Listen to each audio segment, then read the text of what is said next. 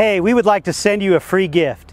If you click on the link in our description and sign up for our mailing list, we'd be happy to send you one.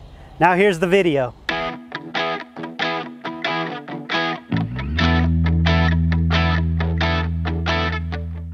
Hello, I'm Derrick with Adobe Rock here in Erda, Utah. Flagstone's a great product that can change your landscape and make it more durable and longer lasting. But it doesn't always have to be used with polymeric sand or gravel as the grout between the stones. Today we want to show you how to use flagstone with grass or ground cover in between the stones to give it a more natural and organic look. You can do this project on your own, but it's always nice to have help, and Chris has agreed to help me today. We're going to be working in this area today since we'll be planting ground cover around the flagstone, we've installed sprinklers to make sure the plants will get adequate water. We'll be using our Marbella flagstone. It has a rougher surface than some of the other flagstones, and we love how it looks a lot like petrified wood. Instead of using a solid rock base under the flagstone like we would in most applications, we have compacted soil.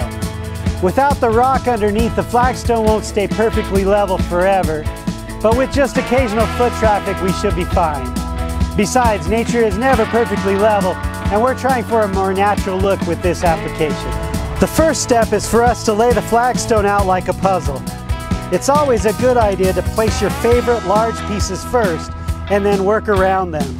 Because we'll be planting around the flagstone, we don't mind larger gaps between each stone, like we would if we were using polymeric sand.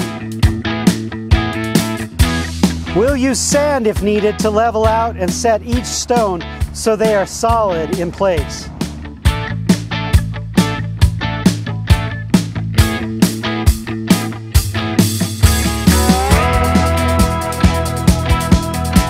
Now that the stones are all laid out, we'll just come back through and fill the gaps with ground cover, followed by our premium topsoil.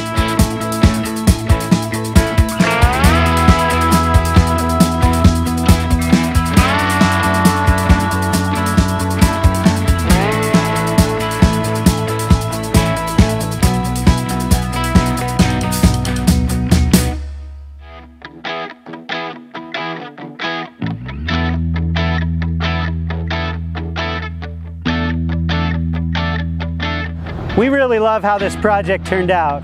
The deep green color of the ground cover versus the gold and brown in the Marbella really offset each other.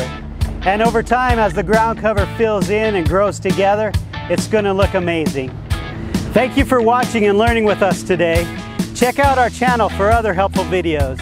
And until next time, let us know if we can help rock your world.